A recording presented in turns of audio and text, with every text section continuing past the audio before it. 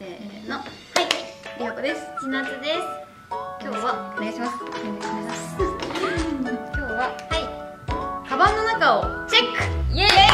気になる。りほこさんのカバンの中で気になる。あのでも高校の時うん。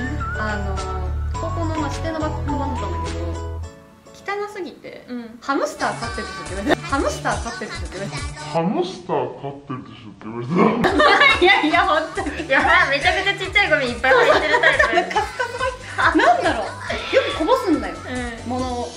それもあったのかよく。カハムスター使ってると怖い怖い。怖いよ今日出てこないです。今日は出てこない。大丈夫。そう。ひなっちゃんはなんかこう必要最低限のものしか持ち歩かなそそうですよ。やっぱり。重いもの持ちたくないしなんか買い物さえもなんか買ったもの持って帰るのめんどくさいから、見に行ってネットで買おうっていう。うん。あそういうこと、うん。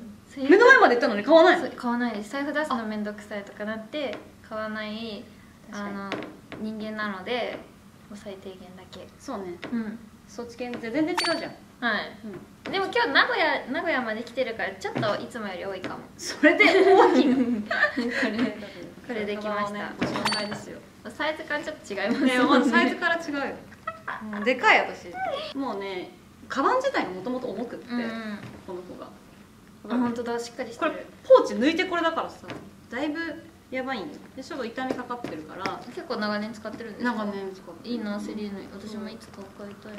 そうでもねもうねふにゃふにゃすぎて結構多分汚れてややばいと思う。えこれ軽すぎ？私でも今日メイクポーチ入ってるから重いですよ。普段メイク用品もあ重いわ本当だ。そうこんくらいのなんかちっちゃいポーチにそんだけ？そうクッションファンデとリップとって入れて終わりだから、えー、もっと少ないです。これ手持ち？かけれないんだここにかけるあ感じ。なるほどね。いいなマルジェラ可愛いよね。マジラ可愛いです。私これ今日撮影があるからこれできたんですけど、いつもはこれとこれともう汚いエクセルこれとこれで終わり。は？あとあとこれかな。リップとシャドウとクッションファンデとすっ。ごなこれだけ。マジで？これメイクポーチブレスケアうん。ワイヤレスイヤホン日焼け止め。日焼け止め？うん持ってきてます。偉いね。私あとメガネ。こんな感じ。じゃんえ私も本当にいつでも全部直せるようにすでに持ってて、えらいやでも結局ね直すことないんだよ。私は一切直さないのめんどくさいから。な なんでその性格と合ってないじゃないですか。あのお仕事が終わった後の飲み会とか、うん友達と会うっていう時に直すために、ある持ってくんだけど別に予定がなくても常に入れちゃうえだから重いんですよ。そうそうなんだよ。リップもさ、うん。いやでも気分で変わるかもしれないしと思って3本ぐらい入れたりとか、うん。どうせ使うの1本なんだよ、うん。毎回決まってんだよ。絶対気分変わらんもん。そう。なのにっていうね。えちなみにこの中今リップ何本あります？確かにリップ多いかもしれない。やっぱなんかリップって増えちゃいますよね。そうなんだよ。唇1個しかないのにとか言われるけどそんなんなんかいや待って待って待ってえ欲しいしってなっちゃう5本あるえ待って話と違う2本プラスされてますよ。やば。そんなにあった？これはありすぎだわ。ポーチと印缶と。名刺入れと大事。そうあとティッシュ。うん。私よく鼻血出すから。えなんで？ですか？そのプロフィールよく鼻血出す本当に1回配信でも出したことあって。なんでなんで？出やすいの？でティッシュと。で財布でしょ？ファンデーション別でクッションファンデでしょ？でもこの口臭ケアだけでも私の2倍ですからね。確かにそうね。そうねとかで心配性が出とる。やばいよね。絶対ねこれが入ってる。あいつもしてる。そう。いつもタクシーの中で。タクシーの中とかこうやって入った瞬間いつもこうやってやってこうやって化粧して直したりとかするから、絶対いるんだよ。女子力高いなって隣でいつも思ってた。なん。か私それできないから。撮影の前もギリギリまでずっとこうやってこうやってやって、シーってやってる。えー、すそうやってる。なんかサングラス剣みたいなやつです私。なんかその UV なんたらそうみたいな。そうそう度が度がないやつ。そうそうそうどかないんだけど。私一回踏みつけちゃってさ削れちゃったんだよね。あ本当だ。私の買わなあかんと思ってレンレンズだけ交換すればいいじゃないですか。どこで買った？これでも。これここ BG クラシックコレクション私普通にラシックの地下で買ったかレンズ変えれないんだよ多分。え多分いけますよ。あそうなの？なんかめっちゃ可愛い。これなんか紫外線に当たると茶色になるんですよレンズが。そう。うん。グラサンってこそうなんかサングラスに変わるんですよ。とえー、BJ クラシックコレクションそうこれめっちゃいい優秀です。あとめっちゃ毛だる毛だるまになった。これ何？充電器。え何これすごっ。アイロン。えー、かわいい欲しい。USB でつなげたら使える。うわこれ優秀だわ。アイロンです。これいいね。いいですあったかくなる。暖かくなりますよ。へえあとあとねおすすめ。私アホ毛とうん。あとある？アホ毛とかあと前髪がなんかここだけちょっとなんかなんか癖毛らしいの、うん。でこれトリートメントなんだけどこれアホ毛とかこうやってこうこえやってやって。うやってこうやってやると。ちょっえ収まってます？と待ってまだまだとか言って。このアホ毛を。えー、何そすれごくない？でもトリートメントだからワックスとかじゃないからベタつかないしえー、いいですね。ツヤだしっていう意味でもそう。これめっちゃいいよおすすめ。え買いたい。どこだったっけ？ミルボン。見るもんミミルボン。見るもあのシャンプーとか取り出してると。こへえあヘアスティックって書いてあるじゃん。だからそれいつもこれをえー、めっちゃいい。そいつもこれをこうやって前髪こうやってシュッシュってやってこう位置ずらしてあとここのこのアホ毛を こうやってやっていい匂いするし。そうでしょ？でいくらつけてもさトリートメントだから気にならなくって。えめっちゃいいね。そうこれをこうやってやって。私ここのこの境目がさいつも気になるんだけど、スプレーが得意好きじゃなくって。わかりますわかります。そうだからアホ毛をいつもこれで聞きたいしようと思ってるんだけどでもこのストレートの時はいいんだけど髪の毛を結んでる時にいつもぴょんぴょんぴょんって出てくるから、これでいつも押さえてやってる。えー、いいこれはおすすめ。顔。買って買って。本あこれ。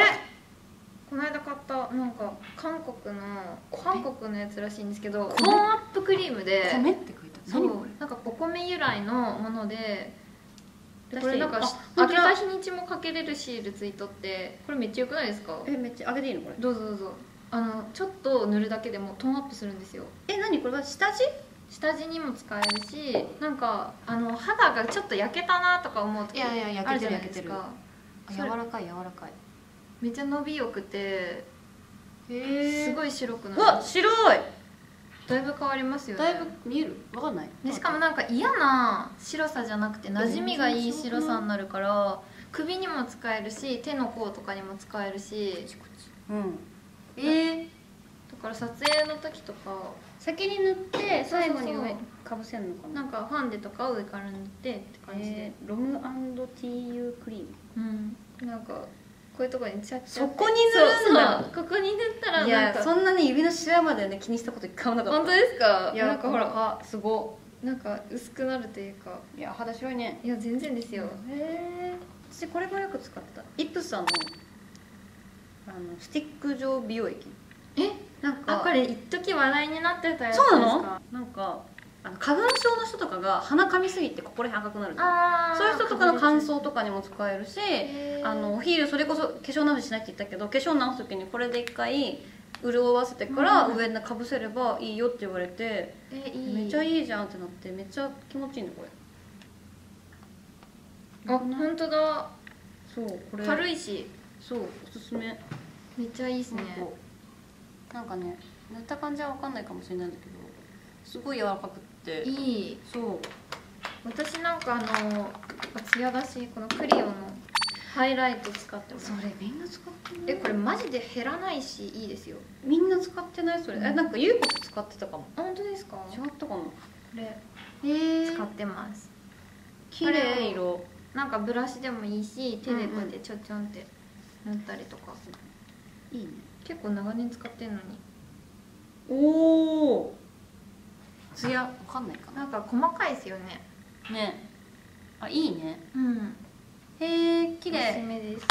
私この間このなんか眉毛の。あ待って私と色違い使ってる。本当ですか？えそれさドンキで売ってるやつだよ。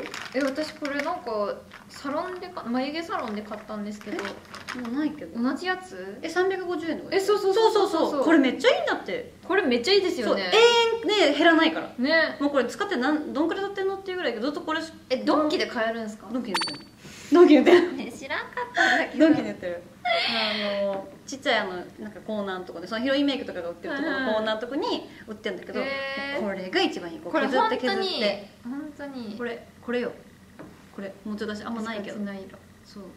めっちゃいいですよね。これは本当にね描きやすいいし。そう。本当に、ね、でもこれ欲しい。モッツヘアあこれも電気屋さんですぐ買えますかあマジで、うん。買うわ。めっちゃ便利ですよ。買おう私の参考になるものはあの髪の毛のアホ毛あれめっちゃ良かった。アホ毛。あれぜひ。あれってどこで私は美容院で買ったけど普通にネットでポチリできる、ね見るよう。ん。見るもんね。うん。見るよく見る。そう。見るもん。そう。見るもんで。よろしく。はい。はい。ということでね楽しかった。よかった。ありがとうございました。うん、ということで皆さん。はい。え金曜日？土曜日？土曜日だ告知お願いします、はい、土曜日の深夜1時28分から CBC テレビで、えっと、メイプル超ミュージックという番組に出演しています。よかったら見てください。えイお願いします。ぜひ。このチャンネルがいいねと思ったらいいねと登録をお願いします。お願いします。ということでバイバイ。バイバイ。